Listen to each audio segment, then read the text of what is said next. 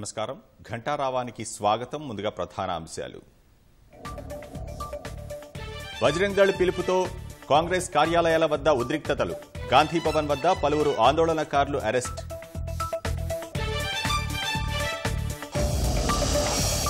హుస్నాబాద్లో కొనసాగుతున్న మంత్రి కేటీఆర్ పర్యటన. ఇండోర్ స్టేడియం ప్రారంభం. పలు అభివృద్ధి పనులకు శ్రీకారం.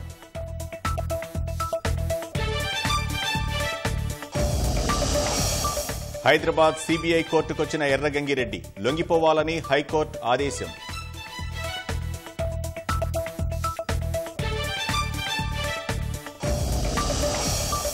నెక్లెస్ రోడ్డులో ఘనంగా బుద్ధ పూర్ణిమ ఉత్సవాలు. వంద కార్లతో శాంతి ర్యాలీ నిర్వహిస్తున్న బుద్ధిస్ట్ సొసైటీ. మహారాష్ట్రలోని సాయి సంస్థాన్ సీఈఓగా తెలుగు వ్యక్తి భక్తుల సమస్యలపై దృష్టి పెడతానని శివశంకర్ హామీ.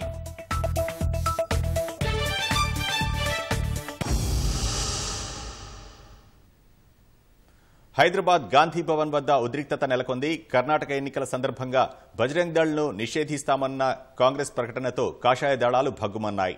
దేశవ్యాప్తంగా కాంగ్రెస్ కార్యాలయాల వద్ద హనుమాన్ చాలీసా పఠిస్తామని బజరంగ్ దళ్ ప్రకటించడంతో గాంధీ భవన్ వద్ద ఉద్రిక్తత నెలకొంది. హనుమాన్ చాలీసా చదివేందుకు వచ్చిన బజరంగ్ దళ్ కార్యకర్తలను పోలీసులు అడ్డుకున్నారు. ప్రత్యక్ష ప్రసారం ద్వారా చూద్దాం. నిషేధించబడ్డది. కాంగ్రెస్ పార్టీని కాంగ్రెస్ పార్టీని దేశంలో నిషేధించడం జరుగుతుంది కనుక కాంగ్రెస్ మెయిన్ పోస్ట్ వచ్చి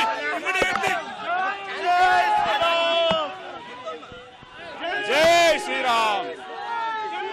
కాంగ్రెస్ పార్టీ ముర్దాబాద్. కాంగ్రెస్ పార్టీ ముర్దాబాద్. ఈరోజు కర్ణాటకలో జరిగే ఎలక్షన్లో శ్రీ గురు చరణ శ్రీరాజ సురేష రామ అరే రాధన కాంగ్రెస్ కర్ణాటకలో జరిగే ఎలక్షన్లో బర్జంగల్ని బ్యాన్ చేయాలి బర్జంగిలను బ్యాన్ చేయాలి అంటున్న Congress party terrorist organization PFI ని సమర్థిస్తుంది. ఇదే విధంగా దేశవ్యాప్తంగా ఎట్లయితే కనుమరుగైతుందో కర్ణాటకలో కూడా కాంగ్రెస్ పార్టీని బహిష్కరించాలని హిందువులను కోరుతున్నాం. జై శ్రీరామ్. అన్నా? బజరంగల్ని బ్యాన్ చేయాలని వాళ్ళ మేనిఫెస్టోలో రాసిరు. పిఎఫ్ఐలకు సపోర్ట్ ఇస్తారు. ఎస్డిపిఐ లాంటి అంతర్వా ఆతంకవాదులకు సపోర్ట్ ఇస్తారు వాళ్ళు. వినోద్ వినోద్ ఇది గాంధీ భవన్ దగ్గర బజరంగ దళ కార్యకర్తలు ఒక పది పదిహేను మంది దాకా వచ్చారు. ఇక్కడ గాంధీ భవన్ రెండో గేట్ వద్ద బైఠాయించారు రోడ్డు మీదనే బైఠాయించారు. పూర్తిగా ఈ గాంధీ భవన్ వైపు వెళ్ళే ట్రాఫిక్ మొత్తం కూడా స్తంభింప చేశారు మనం చూస్తున్నాము వీళ్ళందరినీ కూడా బజరంగ దళ కార్యకర్తలందరినీ వచ్చిన పది పదిహేను మంది కార్యకర్తలు కూడా మొత్తం కూడా పోలీసులు ఎక్కడికక్కడ అదుపులో తీసుకొని తరలిస్తున్నారు. వీళ్ళందరూ కూడా రోడ్డు మీద బైఠాయించి ఆందోళన కొనసాగిస్తున్నారు. పోలీసులు పెద్ద ఎత్తున మోహరించిన పోలీసులు టాస్క్ ఫోర్స్ పోలీసులు లా అండ్ ఆర్డర్ పోలీసులు స్పెషల్ పోలీసులు మొత్తం ఈ మూడు విభాగాలకు సంబంధించిన పోలీసులు కూడా ఈ కార్యకర్తలందరినీ కూడా తరలించేదానికి ప్రయత్నం చేస్తున్నారు. అయితే వాళ్ళు గట్టిగా వాదివాదం తోపులాట్లు పెద్ద ఎత్తున జరుగుతున్నాయి. పోలీసులు వాళ్ళను అరెస్ట్ చేసే ప్రయత్నంలో కొంతమంది పోలీసులు కింద కూడా పడి పడ్డారు. ఈ ముందుగానే ఊహించిన ఈ పరిణామాన్ని పోలీసులు భారీ ఎత్తున మోహరించారు. గాంధీభవన్ గాంధీ భవన్ దరిదాపులకు రాకుండా ఆ, గాంధీ భవన్ పరిసర ప్రాంతాల్లో పోలీస్ పికెట్లు కూడా ఏర్పాటు చేస్తారు అయినప్పటికీ కూడా వాళ్ళ అక్కడి నుంచి పోలీస్ పికెట్లను కూడా దాటుకొని గాంధీ భవన్ గాంధీ భవన్ వద్దకు గాంధీభవన్ వద్దకు వచ్చారు. ఇక్కడ వచ్చి ఆందోళనలకు దిగి బి- కాంగ్రెస్ పార్టీకి వ్యతిరేకంగా పెద్ద ఎత్తున నినాదాలు చేయడంతో పాటు అట్లాగే హిందుత్వానికి అనుకూలంగా జై శ్రీరామ్ అంటూ పెద్ద ఎత్తున నినాదాలు చేస్తున్నారు. మనం చూస్తున్నాము ఆల్రెడీ ఇప్పటికే ఒక వ్యాన్లో దాదాపు పది పదిహేను మందిని ఎక్కించి ఆల్రెడీ తరలించారు. మరో ఐదారు మంది ఇక్కడ మిగిలిన వాళ్ళు కూడా తరలించే ప్రయత్నం చేస్తున్నారు. కానీ వాళ్ళు తీవ్రంగా వ్యతిరేకిస్తుండడంతో వాళ్ళను గట్టిగా ఫో- బలవంతంగా అదుపులో తీసుకొని వ్యాన్లోకి వ్యాన్లోకి ఎక్కించారు. అంటే వీళ్ళు బీజేపీ బీజేపీ బజరంగ దళం సంబంధించిన నాయకులు కార్యకర్తలు వీళ్ళు విడతల వారీగా గాంధీ భవన్ వద్దకు వచ్చి ఆందోళన నిర్వహించే ఎందుకు ప్రణాళికలు సిద్ధం చేసుకున్నట్టుగా తెలుస్తోంది. ఇప్పటికే మోండే Monda market BJP corporator Deepika వచ్చారు. ఆమె వచ్చి ఆందోళన చేశారు ప్రయత్నం చేస్తే వెంటనే అడ్డుకొని పోలీసులు ఆమెను ఇక్కడి నుంచి తరలించారు. ఇప్పటికే దీపికను గోసామగలు స్టేడియంకు తరలించారు ఆమెను. ఇప్పటికి మిగిలిన వాళ్ళని కూడా వీళ్ళందరినీ కూడా అడ్డుకున్న పోలీసులు వీళ్ళందరినీ కూడా బలవంతంగా అదుపులో తీసుకున్న పోలీసులు వ్యాన్లో ఆ, గోసమాల స్టేడియంకు తరలిస్తున్నారు. అంటే ఈ- ఈ ప్రొటెస్ట్ అనేది ఈ కాంగ్రెస్ పార్టీ ఏదైతే బజరంగ్ దళ్ను నిషేధించేదానికి నిషేధిస్తున్నట్టుగా ప్రకటన చేసిందో దానిని దృష్టిలో పెట్టుకొని దానిని దృష్టిలో పెట్టుకొని దానికి వ్యతిరేకంగా ఇరవై ఈరోజు ఈవేళ బ- బజరంగ దళ్ వాళ్ళు ఆందోళన పిలుపునిచ్చారు. అయితే అందుకే అంటే గాంధీ భవన్ వద్ద వచ్చి ఇక్కడ ఆందోళన నిర్వహించి ఇక్కడ హనుమాన్ చాలీస్ చదువుతామని చెప్పి చెప్పారు. కానీ పోలీసులు దానిని అడ్డుకునేదానికి పెద్ద ఎత్తున మోహరించి వచ్చిన వాళ్ళని వచ్చినట్టుగా ఇక్కడి నుంచి అరెస్ట్ చేసి తరలిస్తున్నారు. వీళ్ళు విడతల వారిగా మరికొంతమంది వచ్చే అవకాశాలు ఉండడంతో పెద్ద ఎత్తున చెప్పండి నా డిమాండ్ ఇప్పుడు ఒకటే తెలుగులో చెప్పాలా హిందీలో చెప్పాలి తెలుగులో అంటే వీళ్ళు చెప్తారు. తెలుగు తెలుగు అన్న. తెలుగులో ఏం లేదండి ఇప్పుడు ప్రస్తుతం ఇప్పుడు మన కాంగ్రెస్ ఇచ్చిన వాగ్దానం తిరిగి వెనకకి తీసుకోవాలని మేము కోరుతున్నాం. ఎందుకంటే ఈ వాగ్దానం ఎందుకంటే మా బజరంగ్ దళ్ సారీ చెప్పాలి కాబట్టి ఇప్పుడు కర్ణాటక. ఇది అంటే ఇక్కడికి వచ్చిన వాళ్ళు వచ్చినట్టు ఎవరిని కూడా వెంటనే అదుపులో తీసుకొని వాళ్ళందరూ కూడా తరలించే ప్రయత్నం చేస్తున్నారు. మరికొంతమంది విడుదల వారిగా వచ్చే అవకాశం ఉండదని తె- తెలుస్తుంది. పోలీసులు అప్ర అప్రమత్తంగా ఉన్నారు. ఎవరు వచ్చినా కానీ గాంధీ భవన్ వద్ద ఆందోళన చేయకుండా అడ్డుకొని ఇక్కడి నుంచి తరలించేదానికి సిద్ధంగా ఉన్నారు. Voter studio.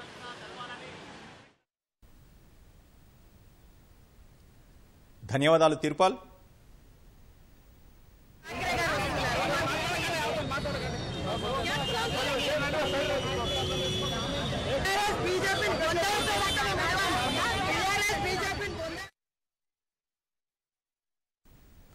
హాత్ సే హాత్ జోడో యాత్రలో భాగంగా సీఎల్పీ నేత భట్టి విక్రమార్క చేపట్టిన పీపుల్స్ మార్చ్ యాభై రోజులు పూర్తి చేసుకుంది. యాదాద్రి భువనగిరి జిల్లాలో పాదయాత్ర చేస్తున్న భట్టి విక్రమార్క బీబీనగర్ మండలం గొల్లగూడెం వద్ద పార్టీ నేతలతో కలిసి కేక్ కోశారు. ప్రజా సమస్యలపై పోరుబాట పట్టి కాంగ్రెస్ను అధికారంలోకి తీసుకురావడమే లక్ష్యంగా భట్టి యాత్ర చేస్తున్నారన్న కాంగ్రెస్ నేతలు ఆయన్ను శాల్వాతో సత్కరించారు.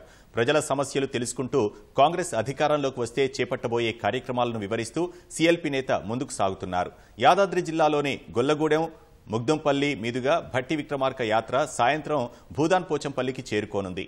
కార్నర్ మీటింగ్ అనంతరం రాత్రి పోచంపల్లిలోనే బస చేయనున్నారు.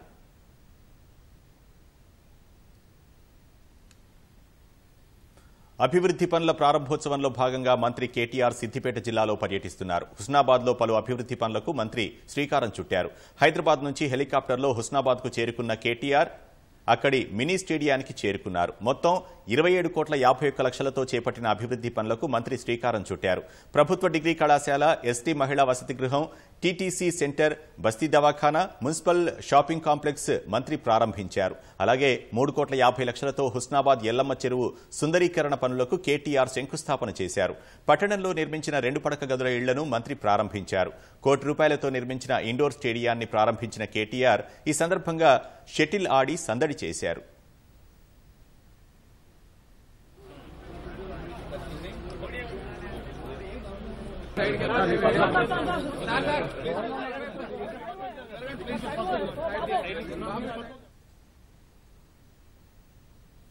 ప్రారంభోత్సవాల అనంతరం స్థానిక బస్ డిపో గ్రౌండ్లో ఏర్పాటు చేసిన భారీ బహిరంగ సభలో కేటీఆర్ పాల్గొననున్నారు. భారాస ప్రజాగర్జన సభగా ఏర్పాటు చేసిన ఈ కార్యక్రమానికి నియోజకవర్గం నుంచి పెద్ద ఎత్తున జనసమీకరణ చేశారు. తొలిసారి హుస్నాబాద్కు నియోజకవర్గానికి వచ్చిన కేటీఆర్కు గులాబీ శ్రేణులు ఘనస్వాగతం పలికారు.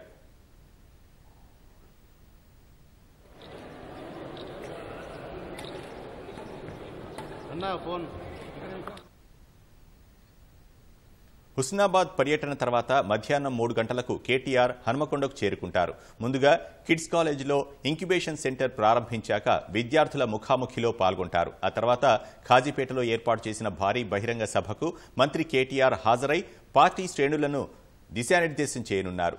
కేటీఆర్ పర్యటన నేపథ్యంలో పార్టీ శ్రేణులు భారీ ఏర్పాట్లు చేశాయి.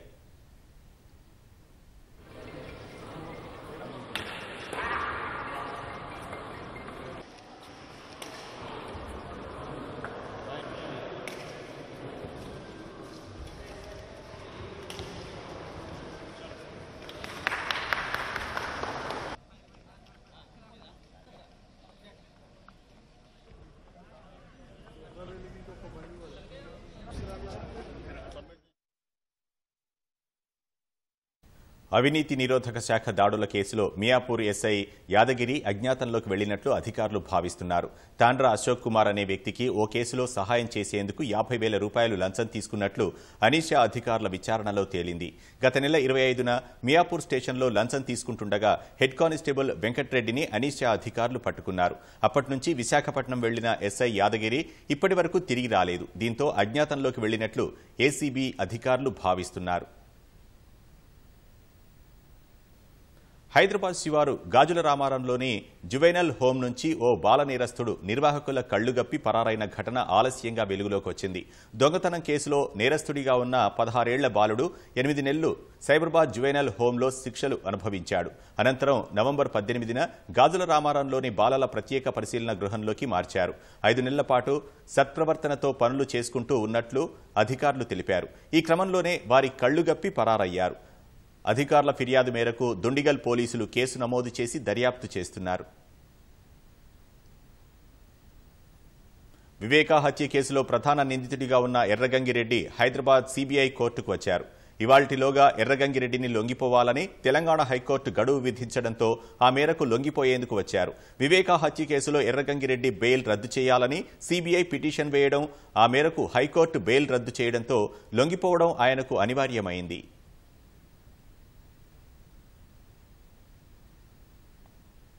మహారాష్ట్రలోని ప్రసిద్ధ షిరిడి సాయిబాబా ఆలయ ట్రస్ట్ సాయి సంస్థాన్కు ఆంధ్రప్రదేశ్ అనంతపురానికి చెందిన శివశంకర్ చీఫ్ ఎగ్జిక్యూటివ్ ఆఫీసర్గా నియమితులయ్యారు. బాధ్యతలు చేపట్టిన తొలి రోజు ఆయన షిరిడి సాయినాథుణ్ణి దర్శించుకున్నారు. సాధారణ భక్తుల వలె మూడు గంటలు క్యూలైన్లో నిలుచొని సాయిబాబా దర్శనం చేసుకున్నారు. అక్కడకు చేరుకున్న ఆలయ సిబ్బంది వీఐపీ దర్శనం చేసుకోవాలని సూచించినా ఆయన సున్నితంగా తిరస్కరించారు. ఎక్కడి నుంచో వచ్చిన భక్తులు బాబాను దర్శించుకునేందుకు గంటల తరబడి వేచి చూస్తున్నారని ఆ సమస్యపై దృష్టి పెడతానని శివశంకర్ ఈ సందర్భంగా తెలిపారు. ప్రజలను కాపాడాల్సిన పోలీసే ఓ బాలికపై వేధింపులకు పాల్పడిన ఘటన ఉత్తరప్రదేశ్ రాజధాని లఖనౌలో జరిగింది. కాన్ పోలీస్ స్టేషన్లో విధులు నిర్వర్తిస్తున్న కానిస్టేబుల్ సాదత్ అలీ కొన్ని రోజులుగా ఓ బాలికను వేధింపులకు గురి చేస్తున్నాడు. పాఠశాలకు వెళ్ళి వస్తున్న సమయాల్లో వెంబడిస్తూ అభ్యంతరకరంగా మాట్లాడుతున్నాడు. ఫోన్ నంబర్ ఇవ్వాలంటూ వేధించాడు. దీంతో ఆ బాలిక తల్లిదండ్రులకు విషయం చెప్పింది. నిఘా పెట్టిన తల్లిదండ్రులు కానిస్టేబుల్ బాలికను వెంబడిస్తుండగా రెడ్ హ్యాండెడ్గా పట్టుకొని ఘటనను వీడియో తీశారు. బాలిక తల్లి ఫిర్యాదు ఆధారంగా పోలీసులు కానిస్టేబుల్పై పోక్సో చట్టం కింద కేసు నమోదు చేశారు. సాదత్ అలీపై సస్పెన్షన్ వేటు వేశారు. ఉత్తరాఖండ్లోని ప్రముఖ పుణ్యక్షేత్రం బద్రీనాథ్ సమీపంలో భారీగా కొండచర్యలు విరిగిపడ్డాయి. చమోలీలోని బద్రీనాథ్ హైవేపై కొండచర్యలు విరిగిపడడంతో చార్ధామ్ యాత్రికుల రాకపోకలు నిలిచిపోయాయి. కొండచర్యల ధాటికి హైవే దెబ్బతింది. కొండచర్యలు విరిగిపడే దృశ్యాన్ని సమీపం నుంచి చూసిన యాత్రికులు భయభ్రాంతులకు గురయ్యారు. అక్కడి నుంచి దూరంగా పరుగులు తీశారు. కొన్ని రోజులుగా బద్రీనాథ్ వద్ద వర్షాలు కురుస్తుండటంతో కొండచర్యలు విరిగిపడిన ఘటనలు వెలుగు చూస్తున్నాయి.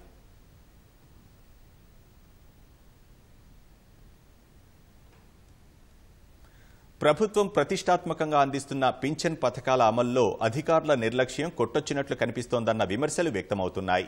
వృద్ధులు వితంతువులు దివ్యాంగులకు ఆసరాగా నిలవాల్సిన ప్రభుత్వ పథకాలు చట్టుబండలవుతున్నాయి. లబ్ధిదారులకు చేయూతనివ్వాల్సిన అధికారులు బతికి ఉన్న నిస్సహాయులను రికార్డుల్లో చంపేస్తున్నారు. మేం బతికే ఉన్నామంటూ ఏళ్ళ తరబడిగా ప్రభుత్వ కార్యాలయాల చుట్టూ తిరుగుతున్నా పింఛన్ ప్రయోజనాలకు నోచుకోవడం లేదు.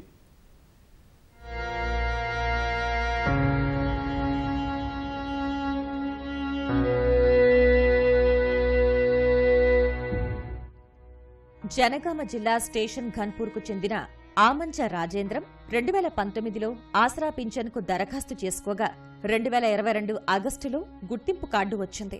పింఛన్ డబ్బుల కోసం ఆశగా తపాలా కార్యాలయానికి వెళ్ళిన రాజేంద్రం జాబితాలో పేరు లేకపోవటంతో నిరాశ చెందాడు. అయినా ఆశ చావక మండల పరిషత్ కార్యాలయానికి వెళ్ళగా రికార్డులు పరిశీలించిన అధికారులు రాజేంద్రం చచ్చిపోయాడని సెలవిచ్చారు. కళ్ళ ముందు నిలువెత్తు మనిషి సజీవంగా ఉంటే చచ్చిపోవడమేంటని రాజేంద్రం నిలదీశాడు. అయితే నీవు బ్రతికే ఉన్నట్లు గ్రామ పంచాయతీ నుంచి ద్రోపత్రం తేవాలన్న అధికారుల సూచనతో అందుకోసం దరఖాస్తు చేసుకున్నాడు. అదే అదనుగా పంచాయతీ సిబ్బంది ఇంటి పన్ను బకాయిలన్నీ చెల్లించాలని షరతు పెట్టారు. అప్పు చేసి ఇంటి పన్ను చెల్లించిన రాజేంద్రం తన లైఫ్ సర్టిఫికెట్ను మండల పరిషత్ కార్యాలయంలో సమర్పించాడు. అయినా ఆ రికార్డుల్లో ఇంకా తాను చనిపోయినట్లుగానే చెబుతున్నాయని ఆరోపిస్తున్నాడు రాజేంద్రం. చివరికి కలెక్టర్కు ఫిర్యాదు చేసినా ఫలితం లేదని వాపోతున్నాడు. ఎంపీడీఓ ఆఫీస్ దగ్గరికి వెళ్ళాను. నా నంబరు వాళ్ళకు చెప్పగా వాళ్ళు కంప్యూటర్లో చూసి నువ్వు చనిపోయినట్లుగా ఉంది అని చెప్పిండ్రు నువ్వు బ్రతుకున్నట్టుగా గ్రామ పంచాయతీ కార్యాలయం వెళ్ళి కార్యదర్శిని అడుగు ఒక లెటర్ తీసుకుని రా అని చెప్పిండ్రు గ్రామ పంచాయతీ కార్యాలయం కార్యదర్శి దగ్గరికి పోగా నేను బ్రతుకున్నట్టుగా ఒక లెటర్ రాసియండి అని అడగగా ఆయన ఎంక్వైరీ చేసి బ్రతుకున్నట్టుగా ఈ లెటర్ ఇచ్చినాడు. ఈ లెటర్ ఇచ్చే ముందు నువ్వు ఇంటి పన్ను కడితే ఈ లెటర్ ఇస్తా అంటే ఇల్లు ఇల్లు పన్ను కూడా కట్టినాను. తీసుకొని ఎంపీడీఓ ఆఫీసులో ఇచ్చినాను. ఇచ్చి ఆరు నెలలైంది. అయింది ఇంతవరకు పింఛని మంజూరు కాలే. నేను కూలి పని మిషన్ కుట్టుకొని బతికేవాడిని ఆయనతో దయదలిచి అధికారులు పింఛని మంజూరు చేయగలరని నా యొక్క ప్రార్థన. స్టేషన్ ఘన్పూర్కు చెందిన నేరటి సునీత భర్త చనిపోతే వితంతు పింఛన్ కోసం దరఖాస్తు చేసుకుంది. ఐదేళ్ళ తర్వాత పింఛన్ మంజూరైనట్లు అధికారులు సమాచారం ఇచ్చారు. పింఛన్ డబ్బు తీసుకునేందుకు వెళ్ళిన సునీత అధికారులు చెప్పిన మాట విని కంగుతింది చనిపోయిన తన భర్త పేరు బదులుగా ప్రభుత్వ రికార్డుల్లో తానే చనిపోయినట్లు నమోదు చేసినట్లు తెలుసుకుని నిర్ఘాంతపోయింది. ఆ తర్వాత మూడు నెలలు మండలం కలెక్టర్ కార్యాలయం చుట్టూ తిరిగాక తప్పు సరిదిద్ది పింఛన్ చేతికిచ్చారు. అయితే ఈసారి సునీత చనిపోయినట్లు పౌర సరఫరాల విభాగం నమోదు చేయటంతో ఏడు నెలలుగా రేషన్ బియ్యం అందటం లేదు. ప్రభుత్వ రికార్డుల్లో దొర్లుతున్న తప్పులు తమ బతుకుల పాలిట గుదిబండగా మారుతున్నాయని బాధితురాలు ఆవేదన వ్యక్తం చేస్తోంది.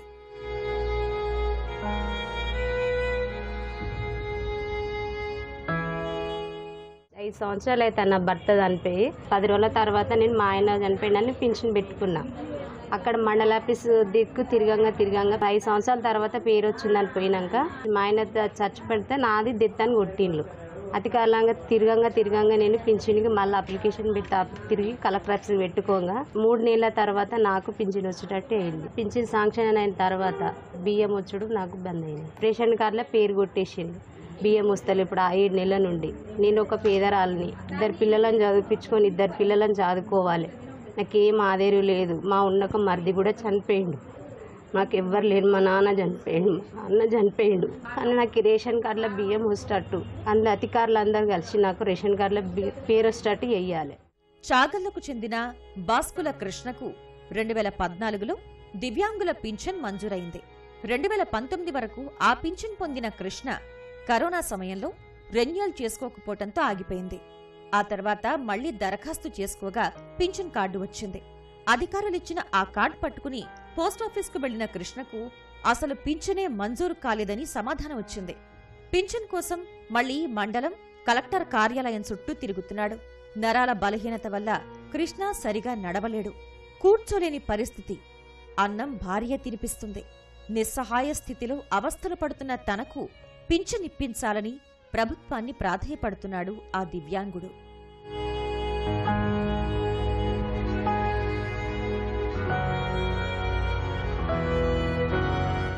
రెండు వేల పద్నాలుగు నుంచి రెండు వేల పంతొమ్మిది వరకు నాకు పింఛన్ వచ్చింది. రెండు వేల పంతొమ్మిది నుంచి పింఛన్ వస్తలేదు. ఇంతవరకు రాలేదని మళ్ళీ కలెక్టర్ ఆఫీస్ పోయినా.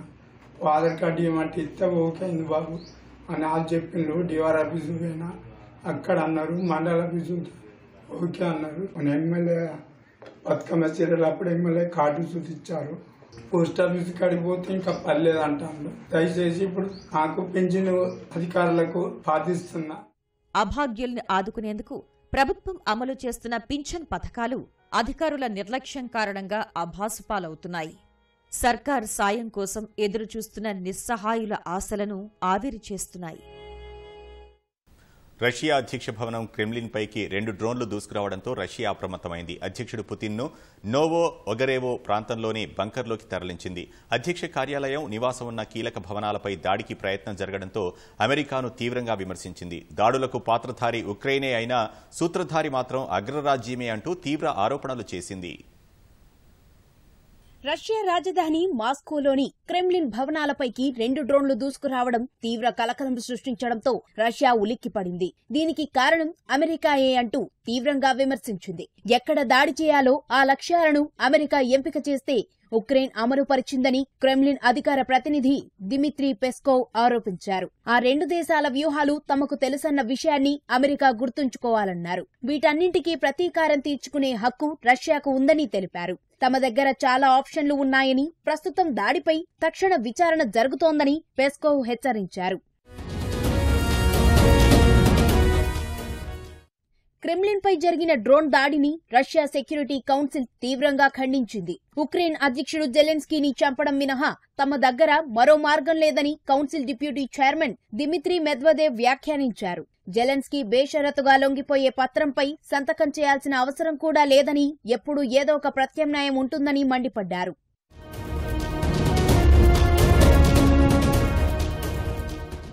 క్రెమ్లిన్పై రెండు డ్రోన్లు దాడికి యత్నించడంతో మరింత అప్రమత్తమైన భద్రతా సిబ్బంది పుతిన్ను బంకర్లోకి తరలించింది.